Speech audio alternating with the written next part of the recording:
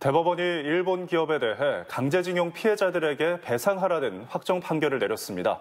최종 판결이 나오기까지 13년이 걸렸는데 그 사이 소송을 제기했던 피해자 3명은 운명을 달리했습니다. 정경원 기자입니다. 강제징용 피해자들에 대한 일본 기업의 배상 책임이 최종 인정됐습니다. 대법원 전원 합의체는 이춘식 씨 등 4명이 신일본제철을 상대로 제기한 손해배상 소송 제3고심에서 피고는 원고들에게 각각 1억 원씩을 배상하라는 원심을 확정했습니다. 재판부는 한일 협정으로 인해 개인의 손해배상 청구권이 소멸된 건 아니며 신일본제철과 강제징용 가해 기업인 일본제철은 같은 기업이라고 판시했습니다. 이른바 재판거래 의혹을 받고 있는 이 사건의 재상고장이 접수된 지 5년 만에 소송이 제기된 지 13년 만에 나온 확정 판결입니다. 그 사이 원고 4명 가운데 이 씨를 제외한 3명이 숨졌습니다.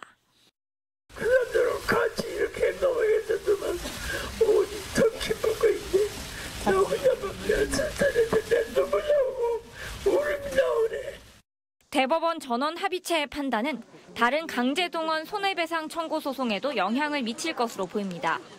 대법원에는 미쓰비시 중공업을 상대로 한 두 건이 계류 중이고 하급심에서도 12건의 소송이 진행되고 있습니다. 최종적인 어, 확정 판결을 지음으로 인해서 현재 진행되고 있는 어, 강제동원 피해자들의 손해배상 소송에 훨씬 어, 탄력이 붙을 것으로 전망이 됩니다.